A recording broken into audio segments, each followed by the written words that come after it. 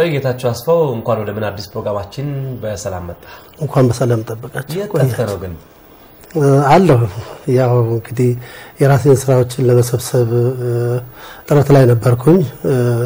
ከድሮ አልበሞቼ እና ከደግሞ አዲስ ጊዜው ከሚፈቅደው እንትን ጋር የሰበሰብኩ ያው እንግዲህ የስቱዲዮ ነገሮች በጣም አድካሚ ነው እና ካለቀ በኋላ ነው ህዝቡ የሚሰማው ጉልበት ምን ያህል ድካም እንዳለው። ያው አንዱም እሱ ሆነው ሁለተኛ በስራ ምክንያት አንዳንድ ጊዜ ያው እንግዲህ ስራ ሲገኝ ይወጣል ይገባል ምናምን እዛ ነው እና እንደዛ ነው እንጂ ሌላ እንኳን አይደለም። ስለዚህ አሁን በቅርቡ እንጠብቃለን ያለቀ- ስራዎች። የጨረስኩ ዛሬ ግን ምን አዲስ ፕሮግራም ላይ ስንጋብዝህ አዲስ ነገር ስላለህ ነው። አዲስ የሙዚቃ ቪዲዮ ይዘህልን የመጣኸውና ይዘህልን የመጣኸውን የሙዚቃ ቪዲዮ እንደው በዚህ መረዋ ድምፅህ እንደ መግቢያ እስቲ ተጫወትና ምን ይዘህልን እንደመጣ ንገረን። ከምሰራቸው ስራዎች ላይ ሁለት አልበም ሁለት ነጠላ ዜማዎችን ለመስራት ሞክሬያለሁ። ቅድሚያ አንድ እንደ ጽጌረዳ የምትባለው የተሰኘችዋን ዘፈን እሷን በክሊፕ አቀናብሬ ስቱዲዮ ምናምን ሁሉ ጨርሶ ለከበረው ሚዲያ ለአንተ ቢሮ አድርሻለሁኝ። በዚህ አጋጣሚ ስለተጋበዛችሁኝ ደስተኛ ነኝ። እንግዲህ ለማንጎራጎር ያህል እንግዲህ ሰሞኑን አመ- አመት በዓል በዓል ስለነበረ እንደ ጽጌረዳ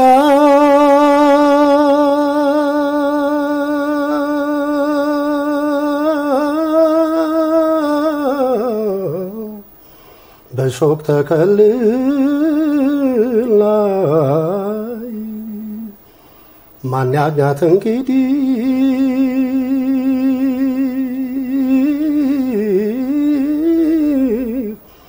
Yorde dadidla Latı mele sedar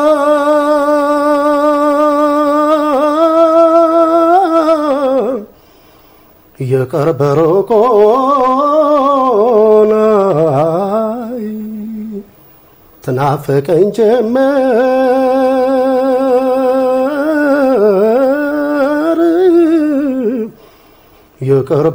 ሆና አይ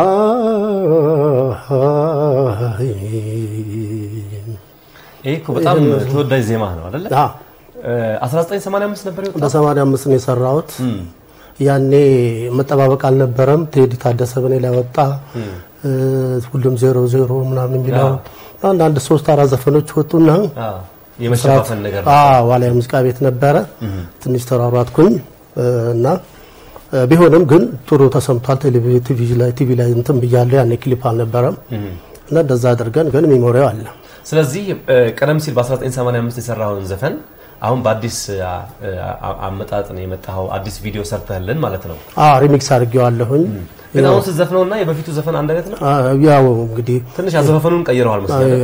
እንትን እየበሰልክ ስትሄድ እንደዛ ነው እስቲ ታረገው። እንዴት ነበር የበፊቱ የተዘፈነው? ያኔ እንግዲህ ምን መሰለ ጆሴ፣ ልጅ ሆነ እንደ ልጅ ታለቅሳለህ፣ አዋቂ ስትሆን ደግሞ እንደ አዋቂ ነው።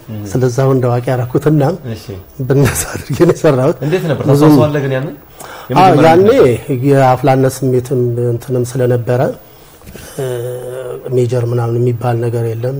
ሻርፒው ምናምን በጣም ፒች ነው ሰራሁትና አሁን ያንን ማውጣት አንችልም። ደግሞ ለስለስ አድርገን ሰው እንዲገባው ማድረግ ነው።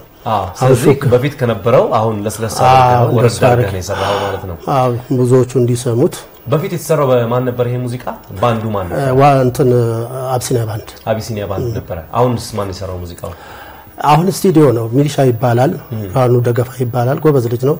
ብዙ ክሊፖችን የሰራ ነው። እንትን ለክሊፖች ያበቃ እንትን ነው። ጥሩ አቀናባሪ ነው እና በጋዝም እንትን አስተያየት የሰጡት አሁን በማደግ ላይ ያለ ልጅ ነው። እሱ ነው የሰራው። አሁን እዚህ ላይ ምንድነው ማሲንቆም ጨምሬበታለሁ። ዘመኑ እንዲመስል ነው ያደረኩት። ያን ጊዜ በባንድ ነው የተሰራው። ዘመናዊ ተደርጎ ሃርመኒ ያለው ምናምን አለው። እንደዛ ነው። አሁን ደግሞ በኪቦርድም ቢሆን ብዙ ነገሮች መሳሪያዎች ገብተውበታል። እንደሱ አድርገን ዘመኑ እንዲመስል አድርገናል። እንግዲህ ክቡራትና ክቡራን ተመልካቾቻችን የዚህን የሙዚቃ ቪዲዮ በፕሮግራማችን መጨረሻ ላይ እንጋብዛችኋለን። ሁላችሁም ጠብቁን እስከ መጨረሻው ድረስ። ያው ከእሱ ጋር ከጌች ጋር ጥቂት ቆይታ እናደርጋለን። እንግዲህ ከቪዲዮውን በተጨማሪ ማለት ነው። ምን ያህል አልበሞች ነው የሰራው ጌች? አንድ ስድስት ነው የሚሆኑት። ስድስት በመሀሉ ትንሽ የጤና ምናምንም ስለነበረ ብቻ ብዙ ያታግላል እና አሞ ነበር እንዴ? አዎ የአንዳንድ ነገሮች አሉ። የማህሉ አይል ነገር ነው የሚባለው እንደሱ አይነት እንትን ተብሎ ብቻ ጥሩ ነው። እግዚአብሔር ይመስገን። አዎ ጥሩ በጣም እግዚአብሔር ይመስገን። ጥሩ ሁኔታ ላይ ነው ያለኸው። አዎ ተመስገን ነው። የቤተሰብም ኃላፊ ነኝ። ቤተሰቦች የሚያበረታቱኛል። ልጄ ነች አኑራን እያደረገች ያለችው የመጀመሪያ ልጄ ያው ነው ስራ አስኪያጅ ነው ማናጀር እንደሷ እያደረገ እና ብዙ ጥሩ ነው ጥሩ ነው ያለሁት እና እግዚአብሔር ይመስገን። አዎ እግዚአብሔር ይመስገን። አዎ፣ ጥሩ ሰላም ነው። አሁን ያለው የት ነው? አሁን ብሔራዊ ቲያትር ኮንሰርት እንሰራለን። ከዛ በተረፈ show ሲኖር ምናምን ይጋብዙኛል እሰራለሁ። ሌላ የምሽት ቦታ አልሰራም። ለምን ነው ማትሰራው የምሽት ቦታ? በፊት ሰርቻለሁ። በፊት ላንቻ አካባቢ ኮንኮርድ የሚባለው ሆቴል ምናምን እንደዚህ ብዙ ሰራን እና ያው ምንድነው መሰለ እ፣ ባለሀብቱ እንድትሰራ ያግባባሃል። ገንዘብ ካገኘ በኋላ ግን አማርኛውን ይቀይራል እና ትንሽ ባይመቹም እና ስለዚህ በራስ ነው ሄዱ ይሻላል ብዬ ግን እኮ አንተ ካለህ ብቃትና ካለህ ችሎታ አንጻር የተለያዩ ቦታዎች ማህበረሰቡ ወይም አድናቂዎች ሊያዩ ይገባሉ ብዬ አምናለሁ። ስለዚህ ሁሉም ሁሉም ባለሀብት እንደዛ ናቸው ብለን ባናምንም አሁን ደግሞ ከተማ ውስጥ ያሉ ቤቶች አሉ፣ የቀድሞ ድምፃውያን የሚጫወቱባቸው ቤቶች አሉና ከነሱ ጋር አብረው ሆነህ የምትሰራበት ሁኔታዎች ቢመቻቹና እኛም ማየት ብንችል ጥሩ ይመስለኛል። ምክንያቱም አንተም ጊዜ ደስ ይለኛል። ጥሩ ነው። ምንድነው መሰለ ከዚህ በፊትም እዚህ ኢጎቢያ ነው ምናምን እንደዚህ እዚህ ጃ ማድረግ ያለው ጥሩ ቦታ ነው። ጥሩ ጥሩ ሙዚቀኞች አሉ በዘመናችን ላይ እና የማበረታቱ ካለ ያው ከእግዚአብሔር የተሰጠን ሙያ ስለሆነ የማይቻል ነገር ካልሆነ በስተቀር መስራት ይቻላል። እኔ ደስተኛ ነኝ። በአንድ ወቅት ጋሽ ጥላሁን ገሰ የእጅ ሰዓቱን እንደሸለመህ ይወራል ከተማ ውስጥ። እንዴት ነው እሱ ነገር? የእጅ ሰዓት ብቻ አይደለም እኔ ያሳድጎኛል ማለት እችላለሁ። በእውነት ከእነሱ ጋር ነው አብረን የኖርነውም ሚስጥሩን የሚያካፈሉ እነሱ ናቸው። ሊከበሩም ይገባል። ምክንያቱም የትላንትን ማቅ ዛሬን ሊያውቅ አይችልም እና ጥሩ እርሾች፣ ጥሩ መነሳሳትን፣ ጥሩ ከያኔዎች፣ ጥሩ ስራ የሰሩ ለዚች ሀገር ትልቅ ታሪክ የሰሩ ሰዎች ናቸው። ይዘመረላቸውም ሊመሰገኑም ይገባሉ በእኔ አስተሳሰብ እና ምንድን ነው አንድ ክፍላችንም አንድ አይነት ስለነበረ የእሱ ማዕከላዊ የኔ ጦር ሰራዊት ጦር ኃይሎች አካባቢ የነበረው ማለት ታምራት ሞላ አንጋፋው ድምፅ እሱ ነው። ብዛ ጥላሁን ገሰ አለ እና ያው መመካከርም አለ። ይመክሩናል፣ ምናምን ይሉናል። በነገራችን ላይ ይመስላል የሚለውን ነገር ሀያ ዓመት ወደ ሀያ ምናምን ወደ ሰላሳ ዓመት ሙሉ ተሸክሜዋለሁ። ግን አሁን ደግሞ እየበሰልክ ስትሄድ ብዙ አስተያየቶች ሲመጡ ደግሞ መምሰል መሞት እንደሆነ እንረዳና ወደ ራሳችን እንመጣለን። ግን ይመክረን ነበረ። ይሄ እኔ ሄጄበታለሁ፣ እኔ የወጣሁበት በር ነው ጥሩ መነሳሳት ነው። ጥሩ ቶን አለ፣ ጥሩ ድምፅ አለ፣ ጥሩ ምናምን እና በራስህ ደግሞ እንደዛ አድርገህ ደግሞ የምትወጣበትን መንገድ ምናምን እንደዛ አይነት ይመክረኝ ነበር። የማውቃቸውን ዘፈኖች ከኋላው ባካረግ ነበረ። ለምሳሌ አንድ ጊዜ እንግሊዝ ሀገር ሄደን እዛ ከመዲና ባንድ ጋራ እሱ በነገራችን ላይ ሙዚቃዎቹን አያውቃቸውም። የተወሰኑ ዘፈኖች ናቸው የሚያውቃቸው እንዴት ማለት ነው? ማለት የተወሰኑ እነ ትዝታዬ እናትን ህይወት ህይወት ሰርግም ላይ ስንትን ስለምል አንቺ ከቶ ምናምን ትዳር አስጠላሽን አያውቀውም። ሌላውን ዘፈኖች አያውቃቸውም እና ከኋላ ምናምን ነው እንትን እያለ ስፒከር ተደግፈን ምናምን ነበር ማግፈው ማግዘው ማለት ነው በጣም የሚገርም ታሪክ እና እንግሊዝ ሀገር ውስጥ ሮያል ላንካስተር ሆቴል የሚባል አለ። እዛ ላይ በጣም ብዙ ኢትዮጵያውያኖች ነበሩ። ወደ 250 ኢትዮጵያውያኖች ተጋብዘው በሼክ አላሙዲ ማለት ነው። እዛ ላይ ስንሰራ አንቺ ከቶን ሰራና ትዳርን ያሬድ ሲገቡ እንትን አለ አላወቀውም እና ያው ማጥናት ይፈልጋል። ስለዚህ በስሜም አይጠራም ጦር ሰራዊት ነው የሚለኝ። ከዛ ምናምን ሲያጉረጠርጥብኝ ከኋላ ሄጄ speaker ተደግፌ ተከልዬ ስዘፈን spea- እንደሱ አንስተውት wireless ኡ ወደቀ ከእጁ ላይ። ድምፅ ግን አልተቋረጠም። አሀ ማለት እሱ mime ነው የሚያደርገው፣ አንተ ከኋላ ነው የምትዘፍነው። በሱ ድምፅ አዎ ችክችክን ዘፈነና ትዳር የሚለው ትዳር ሰለሰናል እሱን ሲል አድናቂዎቹ ወደ ላይ ሲያነሱት mic ከእጁ ላይ ሲወድቅ ድምፁ አልተቋረጠም። ከዛ በኋላ ያንን እንደዛ የተሸፈንበት የሚገርም ነው። በሱ ድምፅ ልክ አሁን እሱ የሚዘፍን ነው ይመስላቸው፣ ጋሽ ጥላሁን የሚዘፍን ይመስላቸው፣ አንተ ከኋላ ሆነ ነው የምትዘፍነው። አደጋው ከመድረሱ በፊት ነው ይሄ እና ያው እሱን ካለ ወይም እንትን ላለው ማለት አይደለም። ያው በቃ እንደዚህ ያው ታግዘው ነበር። አዎ እንደዛ አለ እና በነገራችን ላይ የዘፈኖች አዘፋፈኖች ምናምኖች ሚስጥሮች አሉ፣ አክሰንቶች አሉ። ዝም ብሎ አይደለም እና ያ እነሱ ለፍተው ያመጡት ነገር ነው። እሷን ነው ያችን ጥበቧን የማግኘት ትዕግስት ይፈልጋል። ብዙ ሲዘፍኑ እሰማለሁ ግን እና እኔ አንተ በመስፈን ደስተኛ ነኝ ምናምን ብሎ እንደዛ ሲል ያው ትከባበራለህ ገብተዋል። እና ወዶኛል ወይም ብለህ የእሱ ደጋፊዎች ፋኖቹ ያሉበት ቦታ ላይ እሱን ዘፈን እንትን ነው አይከባበሩም አያከብረውም የሚባል ነገር አለና በዛ በዛ ነው ጥሩም ሰላም የሚኖር ነውም። ለዛ ነው በአንድ ወቅት እነ ታደሰ ሙሉነህና እነ ታምራት አሰፋ የውድ ፕሮግራም ላይ አቅርበውት ስለ እኔ የራሱ የሙያ እንትኑን ግንዛቤ ገልጿል። ማለት ሰዓቱ የመሸለሙስ ነገር እንዴት ነው የመጣው? ሰዓቱን ያው stage ላይ ነው stage ላይ ያው በእድሜ ውስጥ በሙያ ውስጥ ስትቆይ የሆነ ነገር ራስህም አንድ ነገር ታደርጋለህ። የግዴታ አንዱ እንደ ቴፕ አትገለብጠውም። የራሴን style አድርጌ ምናምን እንደዛ ትንስል ተደስተው እዛ እንደዚህ የሚገለጥ ነበር እንዴት ብሎ ያንን በዛ ምክንያት ይመስለኛል። እስኪ በየትኛው ዘፈን ነው እስቲ በድምፅ አስታውሰን እስቲ። ሌባውን በጣት አመልታይ ታሶትር ከምጠቅሰው መጀመሪያ ራስ ለማረም አስታውሰው በአንዷ ስትጠቀም በጣቶች ማል ሶስቱ ግን ራስክን ይመለከቱዋል ኃላፊ አግዳሚው በመጠንቆልሽ በመጠንቆልሽ ዜማ ጣት እያሉ ስማወጡልሽ ስማወጡልሽ ወደ ራስህ ሚክስ እያረከው ነው። ወደ ራስህ ሚክስ አድርገዋል አይደል? የራስ አዘፋፈን ነገር ጨምረህበታል። እና ያው በዛ ይመስለኛል እንደዛ አድርገን ነበር በጥሩ በመከባበር ጥሩ እያደረገን እንትን እያለን ጥሩ የስራ ግንኙነት ነበረን። ያው እስከ ህልፈተ ሞቱ እና ከውጭ የሆነ ጊዜ ታክሞ ሲመለስ ባለቤቱ ወይዘሮ ሮማን እንትን ስትል ከመምጣቱ በፊት ሁለት ወጣቶች ዘፍነውታል መሰለኝ እሱ ዘፈን እና በዛ ብዙ ደስተኛ አይደለም እና ግጥሞቹ በአግባቡ አልተባሉም። ዜማውን ማረጋገጡ ምናምን እንደዚህ ለምሳሌ አሁን አንድ ዜማና ግጥም ይወጣል፣ ዘፋኙ ነው ውበት የሚሰጠው ስለ እውነት። ስለዚህ እና እንዲህ እንዲህ አይነት ነገር ፍቃድም ያስፈልጋል፣ መከባበርም ያስፈልጋል። እኛ ያንን መንገድ ወይንም ደግሞ መሄድ አቅቶን አይደለም፣ ግን አንድ ሰው የአንድን መልካም ወይም ደግሞ ሐውልት እኔ በእኔ ማስተርፒሱ ነው የሱ። ስለዚህ ጥሩ በጥሩ የገነባቸውን ነገሮች እንዳልሆነ ነገሮች ሲደረጉ ደግሞ ትንሽ ይሄ እንደዚህ ላይ በነገራችን ላይ ስራዎቹን አውርሶኛል ለእኔ እንዴት ማለት ነው እሱ?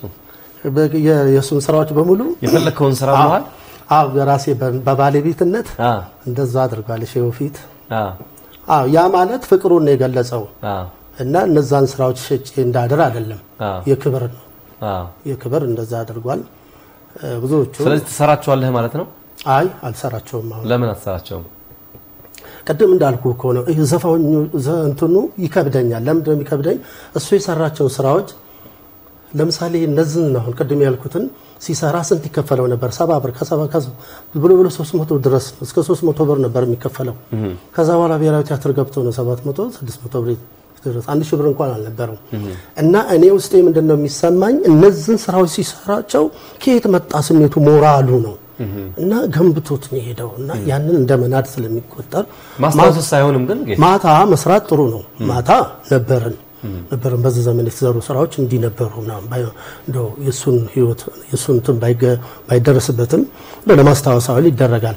ግን መልሶ ለመስራት ወይ ከሱ መሻል አለበት ወይ remix መሆን አለበት ወይ ምናምን እንደዛ ነው እንጂ እንደው ግን ካወረሰህ እኮ አወ- ያወረሰህ ማለት እኔ ባልኖር እንኳን እኔን ሆነህ እ፣ ታስታውሰኛለህ ብሎ ይመስለኛል።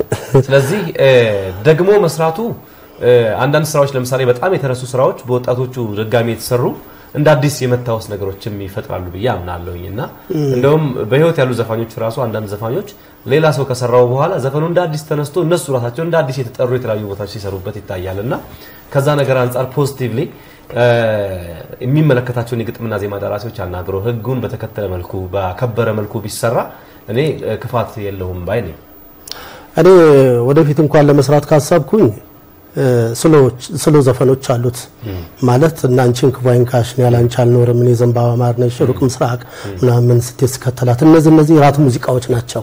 እና እነዚህ እነዚህን በጥሩ ያው አቅም ይፈልጋል ገብተዋል። በእንትን string ኦች brass ኦች ተገድሎ ምናምን እና በደንብ ተቀንትን ብለው ያንን ህይወት እነሱ በዛን ጊዜ የብራስ ዘመን ነበረ። በዛን ጊዜ የተሰሩ ስራዎች ናቸው። ያንን ለማስታወስ እንደዛ ተደርጎ የሚቻል ከሆነ እነሱ ቢሰራ ደስ ይለኛል። ካለበለዛ ግን ዝም ብሎ ለዳቦ ወይንም ደግሞ ለምናምን እንደዚህ አይነት ነገር ሲሆን የነበረውን ደረጃውን በጠበቀ መልኩ በሙሉ ሆኖ መሰራት ከቻለ ትሰራዋለህ ማለት ነው። እኛም ደግሞ እንደዛ ሰርተው ብንሰማው ደስ ይለናል። እውነት ለመናገር አዎ እንግዲህ አቅም ይፈልጋል እንደዛ አይነት ነገር። ድሮ ስቱዲዮ እንዴት ነው ለምሳሌ አሁን ሮሃ ሲያቀናበው ከሁለት ሺህ ሙዚቃ በላይ ነው ያቀናበረው። ስንት ይከፈላቸው ነበረ ታሪክ የሚያውቀው ነው። አሁን ግን ለአንድ ዘፈን 10 ሺህ 15 ሺህ እስከ ሺህ ብር የገባበት ዘመን ላይ ናል። እነዚህ ዘፈኖች እንደዛ ለማድረግ ደግሞ ግዴታ ትከሻው ምናምን ትንሽ አቅም ይፈልጋልና እንደሱ ነው። እስቲ እንግዲህ እግዚአብሔር ከፈቀደ እናደርገዋለን። የትኞቹን መስሎ ዘፈን እስቲ አንድ ሙዚቃ ተጫወተልን ከስሎቹ ከምትወዳቸው እስቲ። አይ ምንድነው መሰለህ ብዙዎቹ እንግዲህ እሱ ዘፈኖች ብዙ ሁሉም የሚጣለው የለም እና በነገራችን ላይ ምንድን ነው መሰለህ እኔ ደራሲያኖቹ ለምሳሌ ሰለሞን ተሰማ ታውቀዋለህ? ሰለሞን ተሰማ ጋዜጠኛ ማለት ሰለሞን ተሰማ የሰራቸው ስራዎች እኛን ጊዜ እንግዲህ ሳንደርስ ነው በጣም አሪፍ አሪፍ ስራዎች ነው። የዘንባባ ማርነች ማን ነው የሞናሊዛ እሱ ነው። ቀጠሮ ይከበር እሱ ነው። እናቱ ሌቷ ከረሜላ ምናምን ስሞት እንዳትረሽኝ እሱ ነው። ገንዘብ ገንዘብ ገንዘብ ያለው እዛ ይሁን እነዚህ እነዚህ ዜማውን ግጥሙ ሰርቶ ለመርካት ነው ክፍሉ ሄዶ ሰጥቶ የሚመጣው።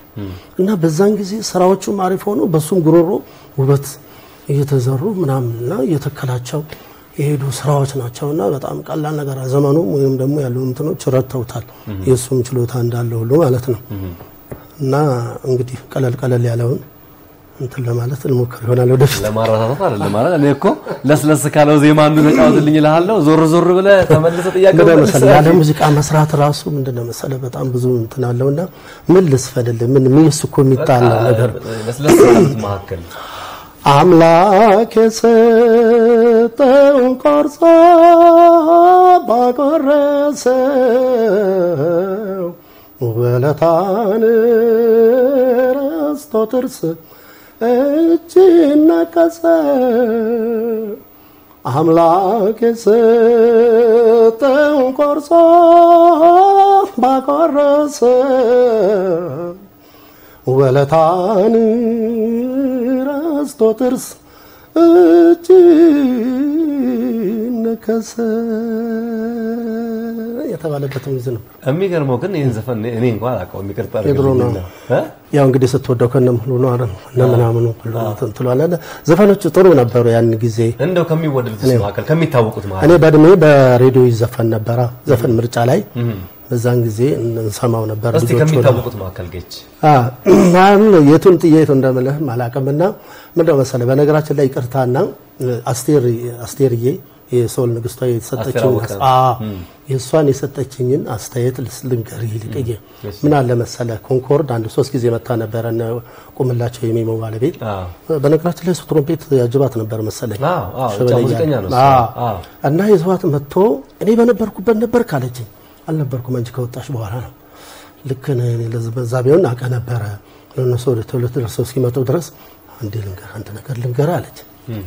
እሺ አልኳት ይሄ ድምፅ ጥሩ ድምፅ ነው ያለው፣ ቆንጆ ነው፣ ምንም ችግር ነገር የለም። አሁን ግን ይህን በራስ ስታይል አድርገህ ብትለው እውቅናውም ይመጣል። ካለበለዚያ ግን መምሰል መሞት ነው። እሺ ተሰምተኛል አለች። መምሰል መሞት ነው። አዎ ጭንቅላቴ ኮንኮርድ እያለ ከዛ በኋላ ራሴን መፈለግ ጀመርኩ። አዎ ጆሮ ሳይሰለጥን ሲቀር ያው እንትን አለ ኑሮ ምናምን በዘም ስንለው ጊዜውን እየሮጠ ሲሄድ ምናምን ወደኋላ ራሳችንን መመልከት ብዙ ነገሮች አሉና በዛ በዛ ነው እና እንደዛ ስለሆነ እሷን አመሰግናተው ብዙ ጊዜ ምክንያቱም አሁን እሱን እንዳይመስል እያረኩ ነው የምሰራው። ቢያንስ አንዳንድ ነገሮች የሚኖርም ያው ወሰድ የሚያደርገ ነገር ቢኖር እሱን መልሰዋለን። የራሱን ሲሆን እንደሱ እናደርጋለን፣ ወደ ራሳችን ሲመጣ ደግሞ እንደሱ እናደርጋለንና እኔ ብቻ ጥሩ ነው።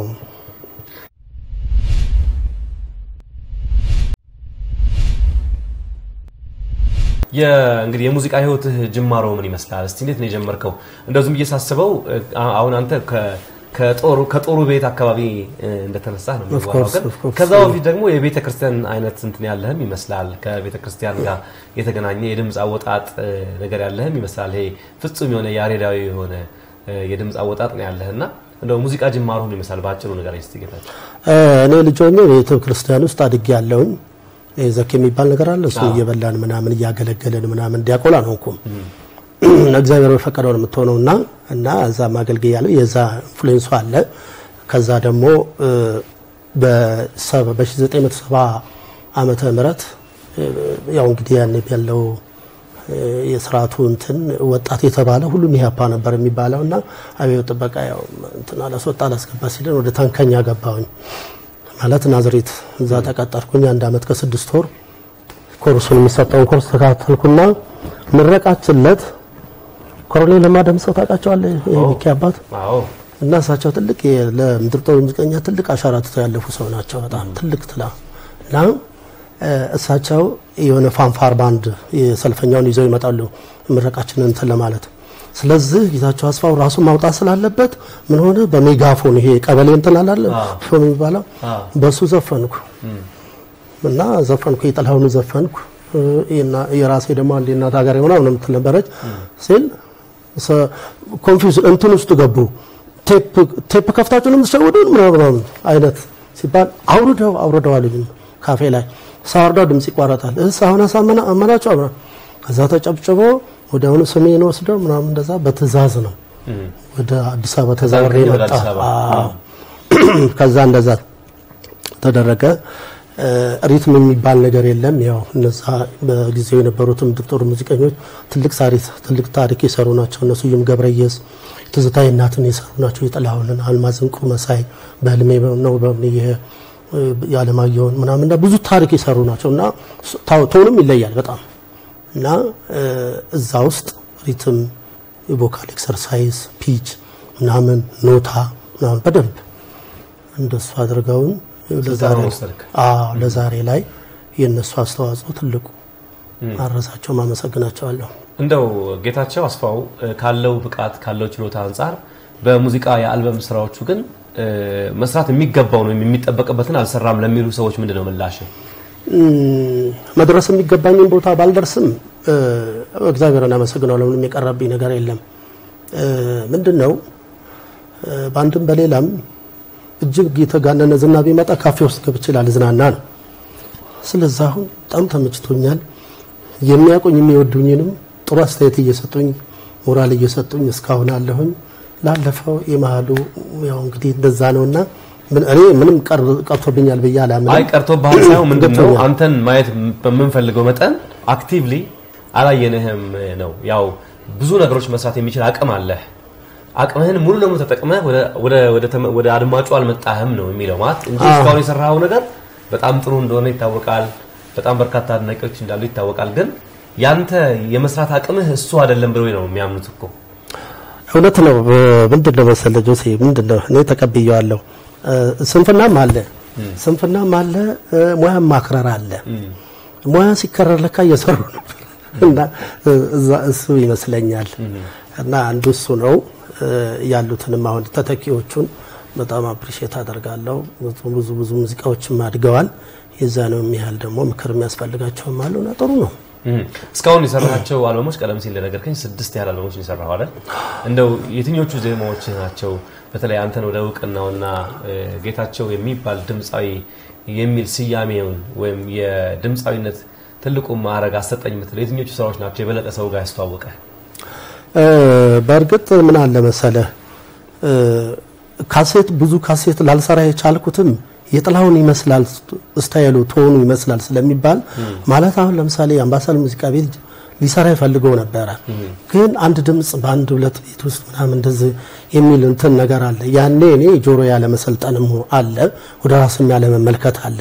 አሁን ስትበስል ደግሞ ወደ ራስህ በራሴ መቆም እንዳለብኝ ያው እንትኑ ሂደቱ ነው እና ያኔ አፍላነት ስሜት ስለነበረ የቀረበውን ሁሉ ይዘፈናል፣ ለተጠራ ሁሉ ይሮጣል ምናምን እንደዛ ነው እና እና እሱም አንዱ እሱ ይመስለኛል። እንደገና ደግሞ ከሰባው እስከ ሰማንያ ውስጥ ያሉት ደግሞ ወርቃማ ዘመኖች እንላቸዋለን። እና በጣም ጥሩ ጥሩ ሜሎዲዎች ጥሩ ጥሩ ድምፃያኖች የወጡበት ዘመን ነው። እና ይሄም ትንሽ ኮምፒቴሽኑም አንዳንድ ነገሮችም አለና ብዙ ብዙ ነገር አለና ብቻ ይመስለኛል።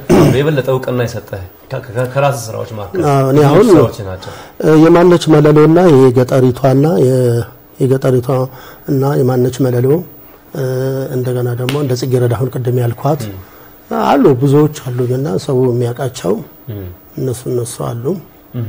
አሁን ግን እንደው ጌታቸው አስፋው ከጋሽ ጥላሁን ተጽዕኖ ከድምፁ ተጽዕኖ ሙሉ ለሙሉ ተላቋል ብለህ ታምናለህ? አሁን አዲስ በምንሰራው ስራዎች ላይ እናያለን። of course አዎ። ከድሮቹ አምስት ከአዲሶች አዲሱን ደግሞ አዲስ ያካተትኳቸው አሉ። አሁን ወደ ማለቁ አካባቢ ነው እንትን ያለው። ያው ስቱዲዮ በጣም ከባድ ነው ትንሽ እና በሱ በሱ ነው እየጨረስኩ እግዚአብሔር ይመስገን። አይ ያለ ነው ያለ ነው። ያው ሌሊት ነው የሚቀነበረው። ቅንብሩ ሌሊት ነው። ቀን discuss ታረጋለህ ምናምን ታረጋለህ። እዚህ ግጥም ሙዚቃ ታርማለህ፣ ታስተቻለህ። እንደሱ አድርገን በሱ ነው አንድ ነገር ያው ጥሩ ነገር ለገበያ ጥሩ ነገር ህዝቡን የሚወደኝን ህዝብ ያረካለኝ ያስደስታኛል። ይሄ ነው እኮ አራት አመት ሶስት አመት የሚፈጀውና የቀረበ ሁሉ አይዘፈንም እና ማስተካከል አለ። እንደሱ ብቻ ሳይሆን ጌች እውነት ለመናገር የሙዚቃ ስራዎቻችን ወይ ሙዚቃዊ ኢንዱስትሪ ላይ ያለው ያለው ማህበረሰብ ለምሳሌ ልክ ቢሮ ውስጥ እንደሚሰራው አይነት ስራ proper የሆነ ለምሳሌ አንድ ሰው ቢሮ ሲገባ ስራ ልስራ ብሎ ገብቶ ሰዓቱን ጠብቆ ምሳ ሰዓቱን ወጥቶ እንደዚህ አይነት ነገር proper የሆነ ወይም ትክክለኛ የስራ ሂደት ያለመከተል ይመስለኛል እኔ የሙዚቃ ኢንዱስትሪ ላይ አራት ዓመት አምስት ዓመት የመቆየት እንጂ በውጭ ዓለም እያያል ፕሮግራም ስለሚደረግ በአንድ ዓመት አልበም ማውጣት ካለባቸው የሚያወጡበትን ቀንና ሰዓት እንኳን ፕሮግራም አድርገው ነው የሚያወጡትና ሙዚቃን እንደ ስራ አለማየት ሙዴ ነው የሚባል። ለምሳሌ አንተ ልትሰራ ተዘጋጅተህ ስትሄድ ሙዚቀኛው ሙዴ አይደለም ብሎ ስቱዲዮ ዘግቶ ይሄዳል። ወይ ደግሞ ከሌላ ሰው ጋር ሲሰራ ታገኘዋለህ። እና እሱ እሱም ይሄ በትክክል ሙያውን አክብሮ ያለ መስራትም ችግር አይመስልህም? እሱም ነው ያው ለሚዲያ የማይመቹ ነገሮች አሉ ብናነሳቸው አይሆንም እና እንደዚህ እንደዚህ አይነት personal የውስጥ ነገሮች አሉ እና ያም ይመስለኛል ተጽዕኖ ያደረገው እና የድሮዎቹ እኮ ለምሳሌ ግጥም ግጥም ነው የሚቀድመው ግጥሙ ዜማ የሚደርሰው ሰው ፒያኖ ላይ ይቀመጣል። ግጥሙን ያነባዋል። ግጥሙ ዜማን ይወልዳል። ይህ እንደዛ ነው። ግጥሙ ዜማን ይወልዳል። ለዚህ ነው ሁለቱም ተገነባብ እንትን ብለው እኩል ሆነው ዘመን የሚሻገሩት። መጀመሪያ ከጠንካራ ግጥም ነው የሚነሳው ማለት ነው። ከዛ ስለዚህ ዜማው ሲመጣ ሁለቱ ይተጋገዛሉ። ዜማን ይወልዳል። አሁን ላይ ስናያቸው ዜማዎች ለዜማ መያዣ ምናምን እንቶፍ እንቶፍ የሆኑ ነገሮች በዝም ነው። ትናንትና ማታ በእጅ ሻለፌ ምናምን ብሎ ይሰራል። ከዛ በኋላ ግጥም ግጥም ገጣሚው እስቲ ይችን ዜማ እንደምን አስተካካትና ምናምን እዛ ጋር ልፋት አለው በደንብ ሼፕ ተደርጎ ስላልተሰጠው አንዱ ይሄ ነው። ስለዚህ ምንድነው ገበያን ተኮር አድርገን ስለምንሰራ ነው። እና ያ ነው እያንዳንዱ ስቱዲዮ ከተማ ውስጥ ያሉ ስቱዲዮዎች በጣም ብዙዎች ናቸው። ግን የት ጋ ነው ጠብ ያለው ነው የምትለው ጠብ የኛ ሙዚቃ አሁን ብዙ ተጣራው በላይ የደረሱ የምናከብራቸው ሙዚቀኞች አሉ፣ ብዙ ኮምፖዘሮችም አሉ። ግን ዓለም አቀፍ እውቅናው ስለመግባት ምንድን ነው ያታገ እዛ ጋር ያገደው ለምን ያንን አይተን እዚኛ ጋር ውስጥ አሁን ብራስ በቫራይቲ ሙዚቃ በሲምፎኒ ወይም በቢግ ባንድ እንደዛ ውስጥ ተደርጎ መዝፈን ይቻላል። አቅምም ያለው አቅምም የሌለው እዛው ስቱዲዮ ውስጥ ለምንድን ነው የሚሆነው ነው። ስለዚህ ህንዶች አሁን ያቀናበራሉ፣ አሜሪካን ሀገር ውስጥ እንትን ይላሉ ምናምንና እንዲህ አይነት ነገሮች አሉና ሙዚቃችንም ውስን ያለው የሚወጡትን ሜሎዲዎች የመወራረስ እንትኖች አሉባቸው። እንደዚህ እንደዚህ አይነት አሁን ሩቅ ምስራቅ ብናየው ስዋሂልኛ ነው ቋንቋው፣ rhythm ኡ ግን ፈረንጁ የሚጠቀምበት ነው። ለምሳሌ ከደቡብ የሚወጡ መዓት አሪፍ idea ዎች አሉ።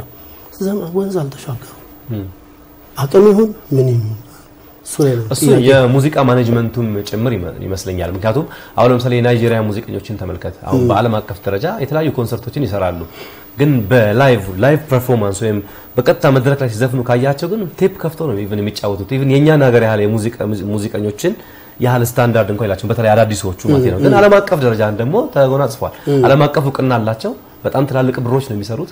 ትላልቅ መድረኮችን ይሰራሉ። ግን በቀጥታ መድረክ ላይ በመዝፈን ግን ደግሞ እንደውም የኛ ሀገር ድምፃውያን በጣም በብዙ መልኩ ይሻላሉ ማለት ይቻላል። እና አንዳንድ ጊዜ ምንድነው የሙዚቃ ኢንዱስትሪው ራሱ ሂደት ኢትዮጵያ ውስጥ ያለው የሙዚቃ ሂደት promoter ኦቹ professional የሆነ ስራ ውስጥ ያለ መግባት ይሄ አሁን ለምሳሌ እነ ጋሽ ጥላሁንን፣ እነ ጋሽ ማህሙድን፣ እነ ጋሽ አለማየሁ እሸቴን ስታያቸው በፍራንሲስ ፋልሴቶ አማካይነት የተለያዩ መድረኮችን የማመቻቸት ነገር አለው እና የሚመሰገን ሰው ነው። የሰሩ እንደዚህ አይነት promoter ኦች ከሌሉ በስተቀረ የአንድ ሀገር ሙዚቃ ወደ ሌላ ሀገር ለመሄድ አቅምም አይኖረውም ብዬ ነው የማስበው እና የእኛ ሀገር ሙዚቃዎች አሁን ካልካቸውም ነገሮች በተጨማሪ እንዲህ አይነት ችግሮችም ይመስሉኛል ወደ ዓለም አቀፍ ደረጃ የማንገባበት።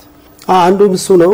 ከተቻለ ይደረ ይቻላል ኮንታክት መፍጠር ነው እኮ ምን ለምሳሌ ሙላቱ አስታጥቄ እየታገለ ነው በራሱ ብዙ ትን አሻራው ታሪክ ሰርቶ እየሰራም ያለ ሰው ነው።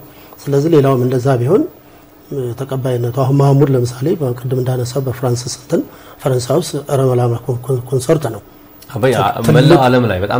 ትልቅ- ስራ እየሰራ ያለ ሰው አርቲስት ነው እና እሱ በጣም እንትን የሚል ነውና ሌላውም እንደዚህ ቢያንስ አቅም አለ ብዬ እኮ ነው።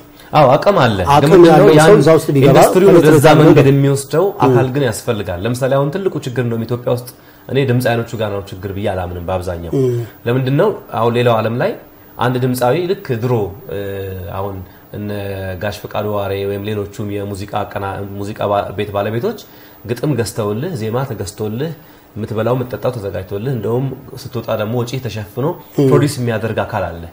አሁን ግን የኢትዮጵያ ድምፃዊ ራሱ ዘፍኖ ራሱ ግጥምና ዜማ ገዝቶ ራሱ የሙዚቃ ቅንብር ከፍሎ ራሱ ክሊፕ ሰርቶ ምናምን በጣም ከባድ ጊዜ ይመስለኛል። ይሄ በውጭው ዓለም ይሄ አይደለም። በቃ እያንዳንዱ የሚያስበውን የሚናገረውን even interview ሲመጣ ምን ማለት እንዳለበት ማናጀሩ ነው የሚሰጠው መመሪያ ሰጥቶት ነው የሚሄደው እና ያ ሰው የራሱን ብቻ አቅም ነው የሚጠቀመው። ብዙ ሰዎች ከጀርባው አሉ።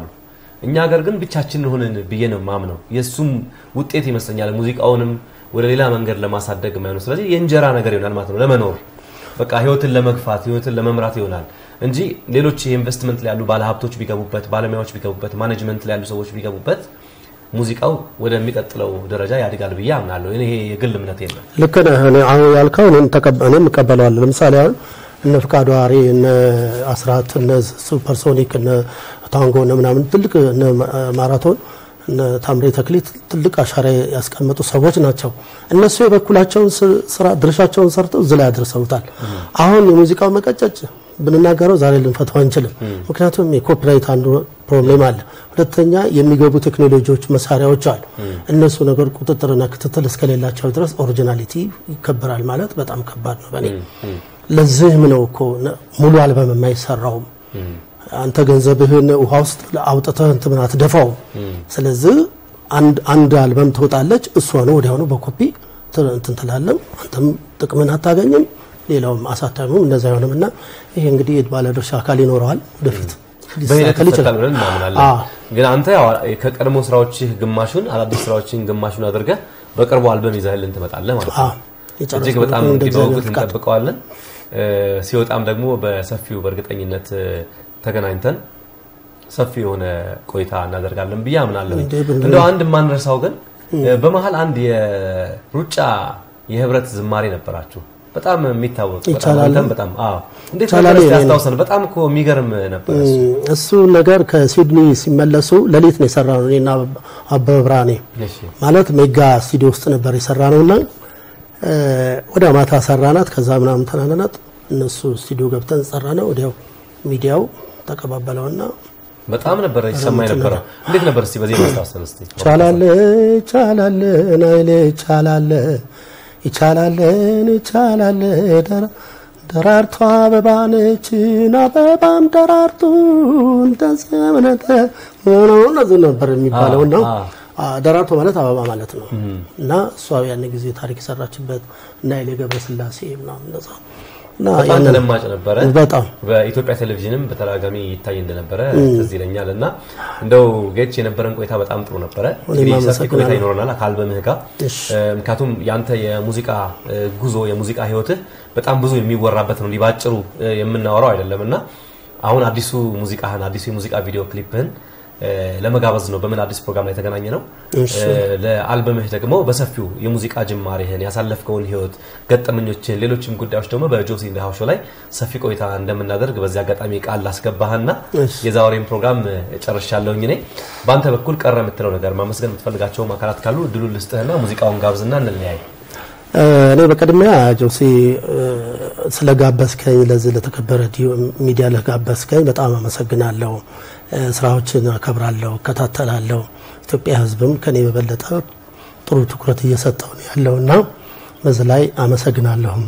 ከዛ ግን ለቤተሰቦቼ ለሚያበረታቱኝ ቤተሰቦችን በሙሉ አመሰግናለሁ፣ ከጎኔ ላልተለዩት። እንደገና ደግሞ የተቀዛቀዘውን ስሜቴን ወደዚህ ወደ ሚዲያው እንድገባ ካደረገኝ ወንድሜ ሚሊሻ እሱ ነው፣ አቀናባሪ ነው፣ ጎበዝ ነው። እሱን አመሰግናለሁ። ከዛ እንደገና ወንድሜ ከጎኔ የማይለየኝ ሲራክት በየነ ከነ ባለቤቱን አመሰግናለሁኝ።